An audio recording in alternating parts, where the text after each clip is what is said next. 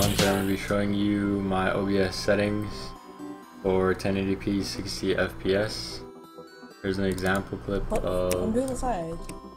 what it could look like. I don't know why it looked all fuzzy right there, but Yeah. good quality. I just feel like a You can see the quality in this video. Uh, the background might look a little weird since it's uh, it's a very I don't know how to explain it, but it's a very high density uh, background. But anyways, here's my settings. Uh, general does not matter. Encoding.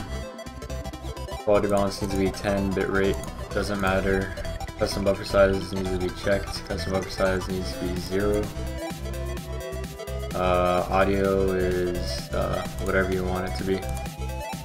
Broadcast settings, uh, you could change the file path of your videos here.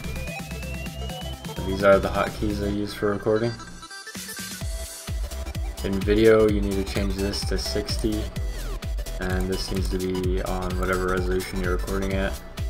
But for this tutorial, I'm showing you guys how to record in 1080p 60 fps, so I have it at 1080p.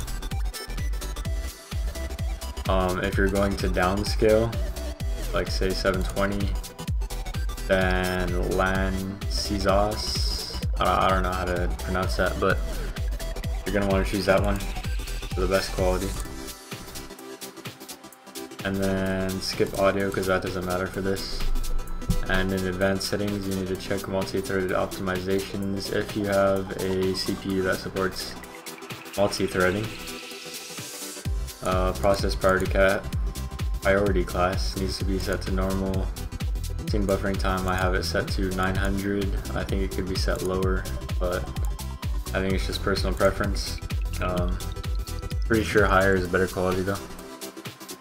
My CPU preset is very fast. Uh, if you can't have at least faster, then I don't know how your videos are going to turn out, but I know it works fine on faster. Encoding profile is main, keyframe interval 2. Then just copy all these settings.